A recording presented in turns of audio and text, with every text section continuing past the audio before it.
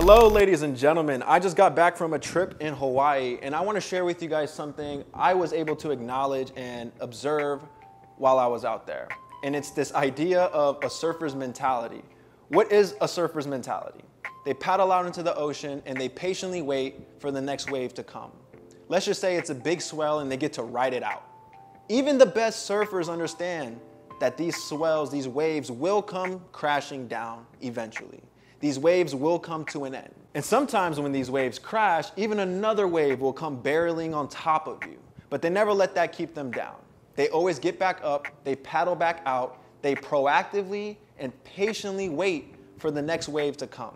So I just want to encourage you guys, just like in life, we experience these extreme waves of success, these extreme waves of joy, gratitude. Just like we also come crashing down with failure and these feelings of inadequacy. So, any of your successes, any of your pitfalls and failures, I want you to understand that these hard times will come to an end.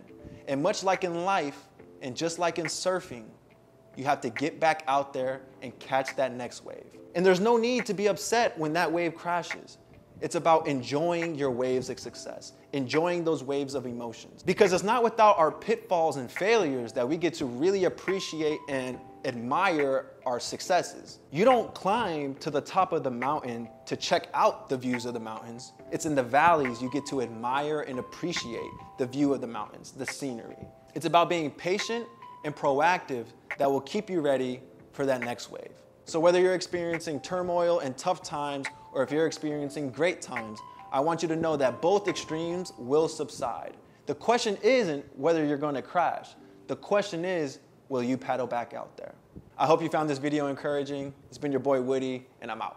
Peace. Bye, have a great time.